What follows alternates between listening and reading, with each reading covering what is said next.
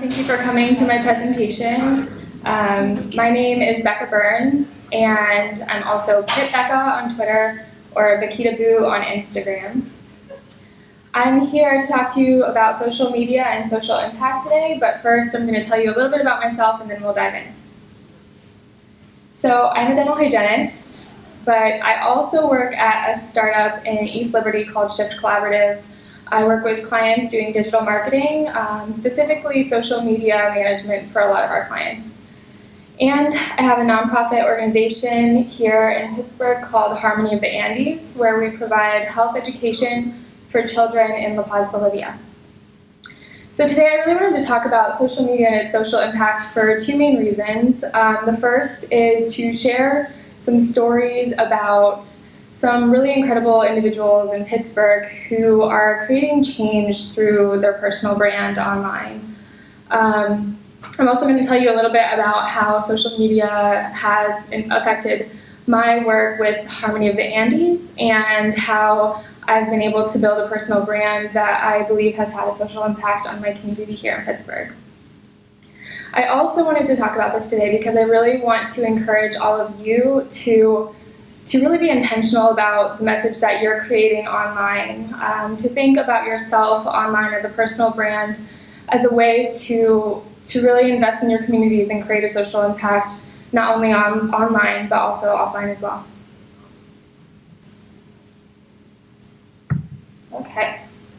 So when I talk about social impact, I'm not just talking about doing good, just writing one quote on social media, um, sharing a positive inspirational quote or a positive inspirational image. I'm talking about building something with others, um, working to improve the status quo of society. This is something that can't be done alone, it's something that we do together as a community.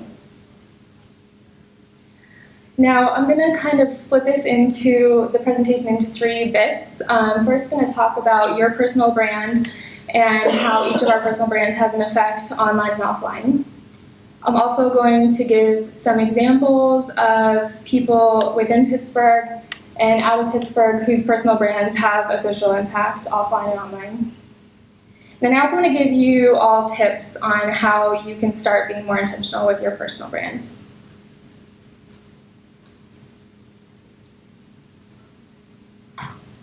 Okay, so we're all here because we're social in some way online, or at least you're interested in getting social online. Um, but first, before we start going online and posting away, I want us all to really start understanding the kind of impact that we have.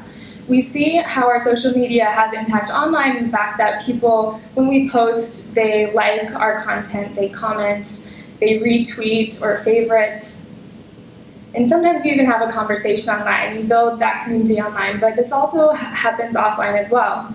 So if I'm sitting at a coffee shop and I see, um, I see a friend of mine who I haven't seen in person for maybe a few months, we're going to connect based off of some of the things that I'm seeing her post online. So, say Kylie, I've been seeing her traveling the world and exploring, meeting new people, and um, you know, pursuing her studies if I see that online, it comes offline in that coffee shop because we start talking about all of the things that she's been doing, all the things that she's been uh, posting on, on, online. So I use this quote from Malala. Um, you probably all know her and the impact that she's had on, um, on women and our society, um, sharing her message to the world. But what's really interesting about Malala is that she does not use social media. She doesn't use her Facebook or Twitter, but she still understands the impact that it has. So although she doesn't manage her own Facebook and Twitter, she has um, an actual profile on both that someone else manages for her um, to spread messages. So she, she understands that we need to use it in a social, um, good, positive way. So some of the campaigns that she stood for include um, uh, Stronger Than and books not bullets, which has spread and reached millions online. Okay. Now, as you either begin creating a personal brand for yourself online or investing what you have already, never underestimate the power of your online presence. The reputation that you build in a physical world, it manifests itself online when you begin typing. So when you begin posting online, you're building this reputation, this personal brand online. When you begin sharing, it's, under, it's essential to understand that your personal brand impacts your online and offline communities. Have you guys seen these tweetables and blogs, by the way? I love them. I just created my own. Okay, so um, of course we all know Oprah Winfrey. She is a public figure and a thought leader. She shares, um, she already has a great audience. She already had a great audience before she got onto social media. Um, but through social media, she's able to engage her audience in a new way. She's able to share the pieces of her life that may have been overlooked in the past, um, sharing about how she likes gardening and cooking her own foods. She's also able to share current events and current causes that she believes in and stands for. She's able to share daily stories about her life and send messages to encourage and empower others. We all know him as well, Bill Gates. Um, he's also a good example of a public figure who has created a personal brand online that shares current events. We can visit his platform knowing that, and it, with expectation that we know he's going to be sharing about certain causes that are current um, and things that he stands for and believes in.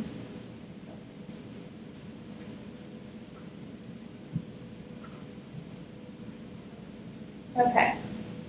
Now, I want to start getting into some of the local leaders that have really encouraged me in my personal branding. Um, I asked Justin if I could talk about him today. So, this is Justin Forzano. He's one of my really good friends here in Pittsburgh.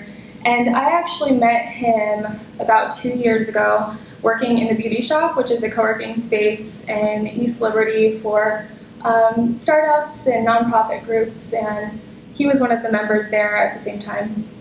I didn't meet him face to face at first. I started following him on all of his social media platforms.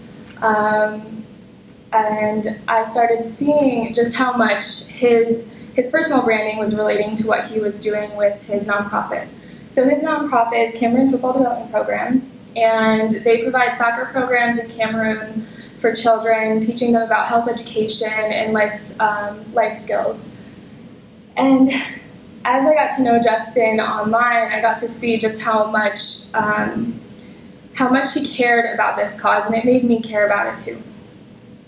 It really showed me that if I wanted to have people care about the things that I really care about, the passions that I have, I have to start sharing them, making it making it visible in the online world.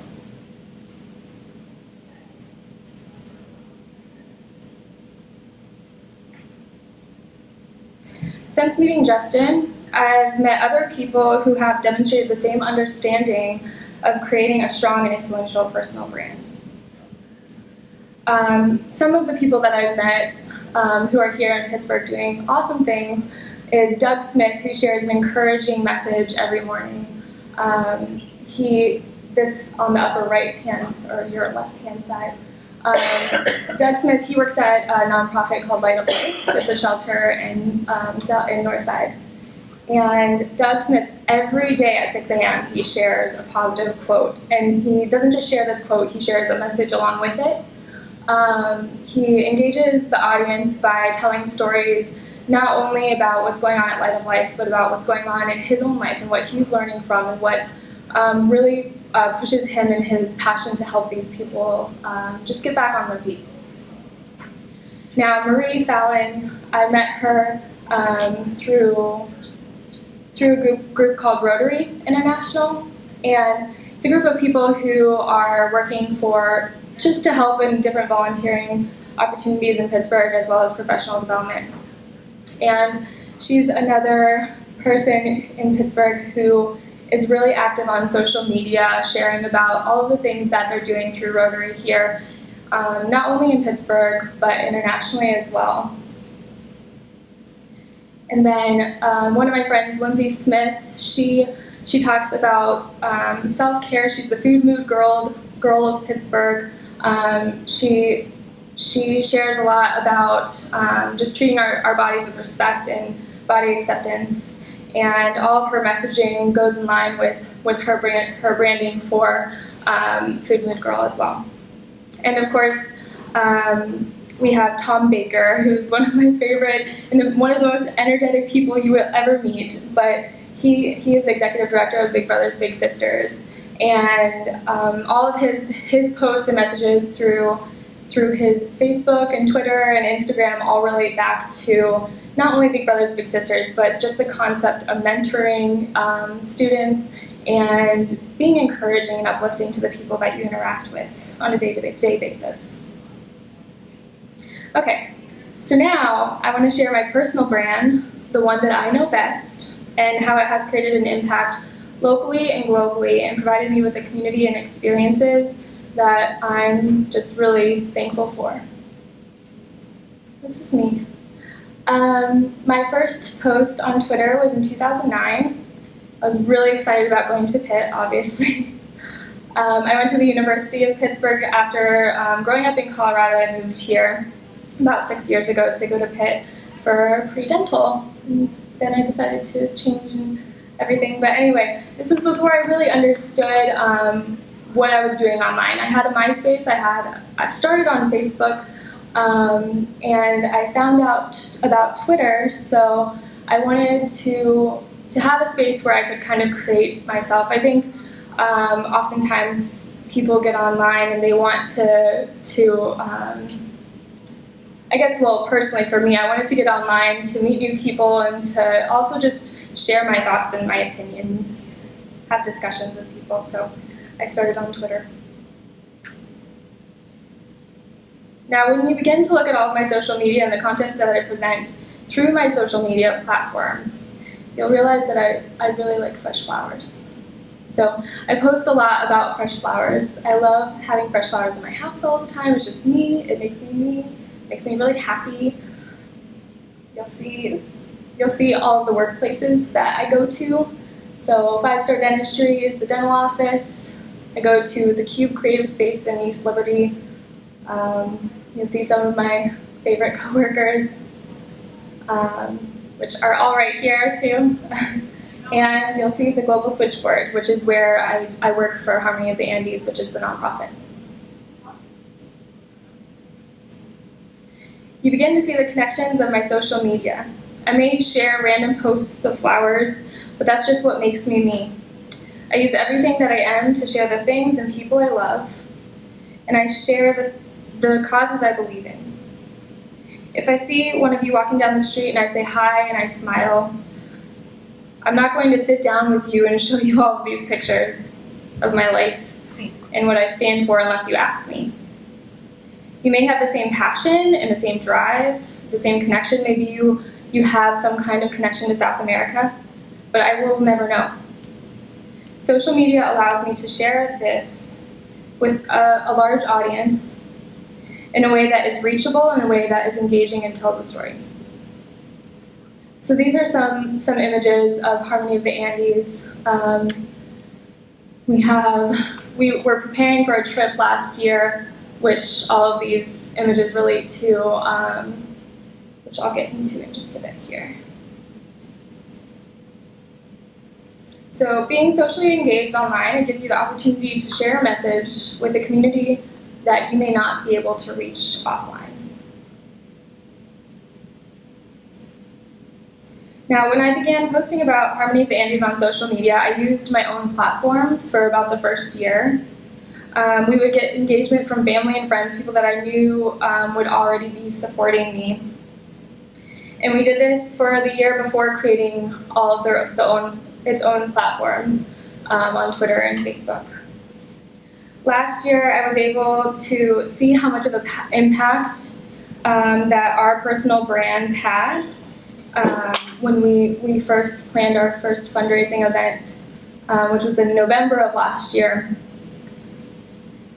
So we had one month to plan for this event. Um, the reason why we were planning this was uh, to basically kick off a community assets assessment that we were doing in La Paz the following December.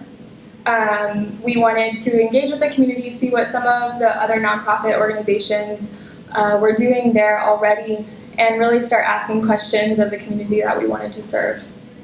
Um, So we planned this event to have a dinner to share with the community what we were planning on doing.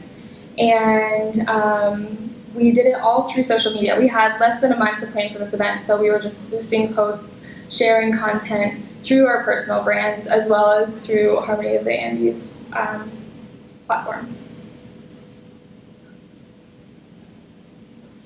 Now, this event was absolutely more than anything Alexis, my partner, and I could have ever asked for. Um, we ended up having over 300 people attend the event, which was remarkable for us because we, we expected maybe 100 people to show up. Um, we had, did have an event page on Facebook, but not very many people had RSVP'd, so we just weren't sure. And of all those people that attended the event, we knew about 25 or 30 people who were there most people that we asked and interacted with um, there, we did have a survey of how they found out about the event, and almost all of them found about it, found out about it through Facebook and Twitter. And we we uh, reached more than reached our goal for the fundraising. Um, we had well over the amount that we had anticipated, and we were able to serve the community in Bolivia when we went in December, providing over 800 families with meals, clothing, and blankets. This is, these are some of the pictures that we were able to share through our, our, um, our platforms um, from La Paz. So this group, we actually reached out to through Facebook when we got to La Paz, um, asking them if they would like to help us with distributing the meals. Um, there were a couple different churches and a couple different community groups who were already working there that we, we were able to engage with on, on Facebook. And then this group of girls we met through Twitter actually. Um, the one right in the middle eating the apple, she, um, she had posted or retweeted a post that we had sent on Twitter and we got all of her girlfriends to come and help and play with the kids it was a really fun thing to see. Here's the video. So when we got back from La Paz, we were able to share all of the stories and everything that happened with the community that helps support us, both online and offline. Oh no, it's not working. Well, this is a really adorable video of, oh wait, actually I have my Facebook.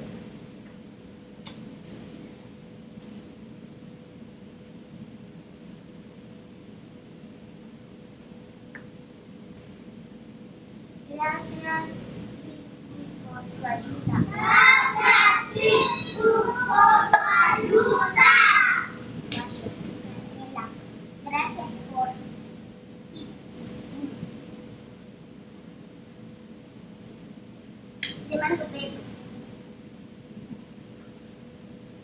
So it was really fun. I'm obviously not a video editor. but it was really fun to be able to share this story with the people who we didn't even know who were helping to support us. I lost my place. Give me a second.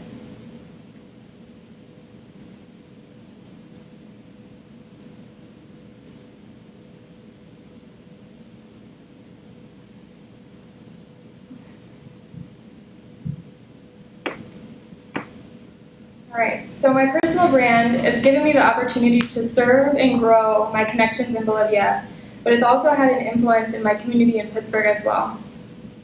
I've been able to connect with other like-minded individuals and taken that interaction offline to serve others and work to help create awareness of services offered to support those that need it here in the city.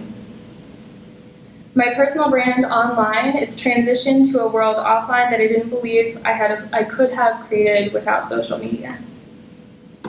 At least not as quickly as I, I could have offline.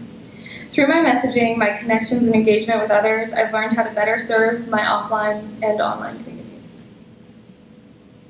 All right, so now I want to leave you with some takeaway tips that you can use as you're creating your own personal brand and just being more intentional about creating a personal brand that has some kind of social influence. So one, creating a clear message.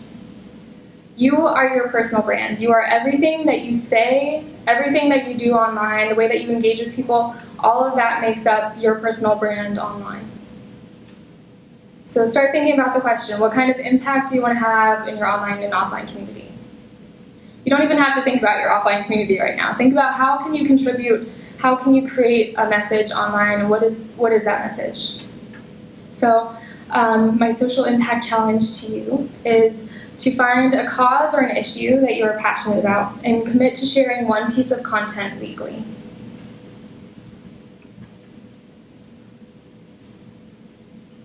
A little tweetable.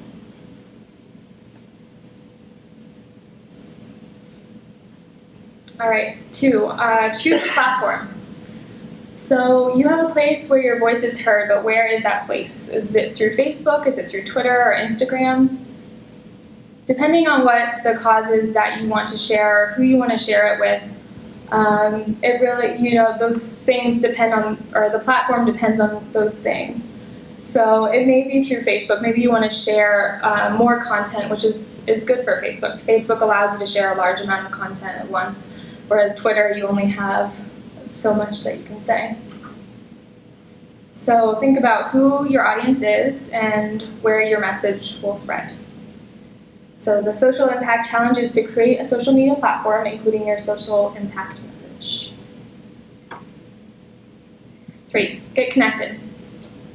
This is one of the African proverbs that I've uh, learned through Justin and his Cameroonian group, but many hands make light work. On online, you're not going to be able to create the impact that you want unless you get connected with other people. There's so many people who have already done it and who are doing it and who are working really hard and and you can contribute to that group and you can contribute to the conversation by just getting connected. So my social impact challenge is to connect with one new group that is working to make a social impact in an area that you feel passionate about. And give back. I like this quote. It says, When we are sharing stories to create bonds with other like minded people, we want to give them social currency with the highest pass on value we can. You have to give back to show people that you are interested and that you want to engage and that you want to become a part of this group and um, this purpose. So just get back to your online community. Um, make sure that you're commenting and sharing um, with the people who follow you or who you're following. Um, it can just be a favorite or a retweet or a heart on an Instagram. And then take it offline. This is the most important part. So no matter what you say, actions will always speak louder than words. This is the fun part because you get to take those connections that you've made online um, and you get to apply them to your real life. You get to meet new people face to face, offline. You get to see all of the things, all of the causes that people stand for in real life and see the change that is really being made. You get to see all the ripple effects that this is this um, personal branding is having in an offline setting. Um, so if you want to connect with me, There are my connectors. Um, yeah, that's it.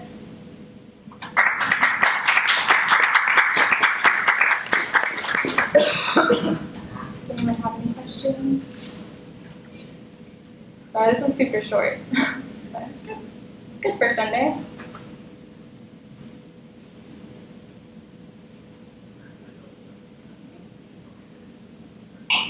Thanks for coming.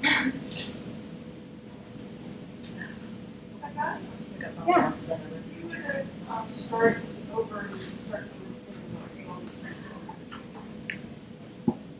For um, my my own social media. Um, I think I probably would. There's probably a couple things I would have done differently. I think I would have created the the platforms right away. Um, I think it did help that we were we were sharing it through our own personal brand or our own personal profiles, but um, I think creating it as its own and then sharing it through my personal brand would have been a little bit more um, beneficial to getting people to like our, our Facebook page or follow us on Twitter. Um, and then, yeah, I think that's probably the biggest one.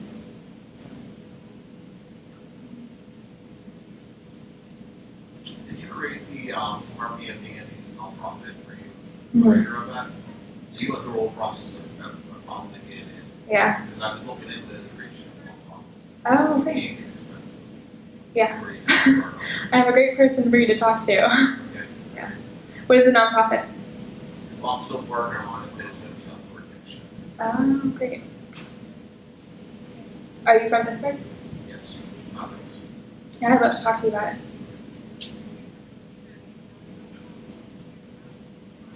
I think also um, just taking my practices for so with my clients through Shift Collaborative, um, we create editorial calendars for our clients and just uh, and with scheduling posts, just making sure that we have a strategy for each client. Um, and I think it took me a little while to apply that to my own personal branding, or art, because it seemed like a foreign concept to like have my own editorial calendar for my own personal profile.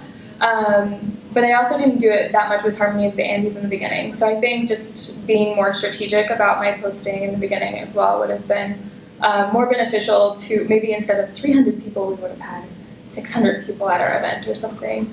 Um, and just being more consistent and frequent with our, our posting. So. In choosing a social media platform, can you suggest resources to turn to? Because it can feel overwhelming starting out. Yeah. And, you know, if I go out and create a blog and I just put it out there, it'd be hard to feel uh, energized to keep doing it if I don't have anybody reading it. Mm-hmm. And versus like tweet every day and get a lot of followers but aren't not able to with. Keep up. Yeah. Uh, where would you start? Where would you suggest? Yeah, I think um, something that's been really useful for me, and I mean, I think there. Are, So there are two things to this. I think one that's been very useful for me as far as an online resource is um, Social Media Examiner. It has really helped me in just understanding how to have like what an editorial calendar actually looks like, um, and the kind of frequency and consistency I want to have through each so- social media platform, um, because each is is unique in its own. Uh, you know, Facebook, you can post two to three uh, posts a day, and that's fine. I mean, you want to be a little bit more consistent now, but um, or frequent now. But with Twitter, you want to have like seven or eight posts a day. You know, because your your tweet only has a life of six seconds. People aren't going to see it. So I think looking into Social Media Examiner because there's just an overwhelming amount of content there that will really help you um, with the basics. And then two, getting connected with other people who are doing similar things, um, researching or just taking a look at some people who are doing like who are within the same genre of what you're doing, and then using the content that they're putting out and seeing if it's working, applying that to what you're doing. Are there um, any websites that do analytics for social media? I think it's hard to see your page, but Yeah. Yeah, so um, Facebook does analytics. So if you create a page, you can you can go to insights within that page, which is um, a way to show your Facebook analytics. With Twitter, they actually have their own Twitter analytics as well. Um, and then Hootsuite has analytics, which is uh, it helps with scheduling posts. You can actually schedule all of your posts ahead of time on Hootsuite or Buffer.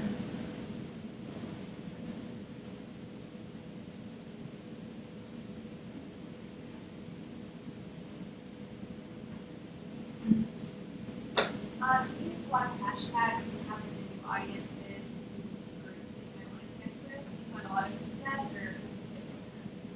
Yeah, actually, um, hashtags have been really fun, especially with um, we're connecting with people in Bolivia, because um, when we when we went to Bolivia in December, I was looking up hashtags of different groups um, that were working in La Paz, And that's actually how we connected with the two groups in the first picture um, through hashtags. It brought me to their group, and then I could kind of see their profile on Facebook, and then we just DM'd each other.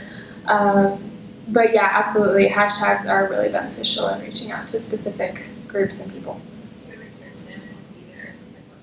hmm Actually, no, I, I found them through their hashtag, but you could definitely, I mean, be looking on people's pages that you already know about and seeing what kind of hashtags they're creating.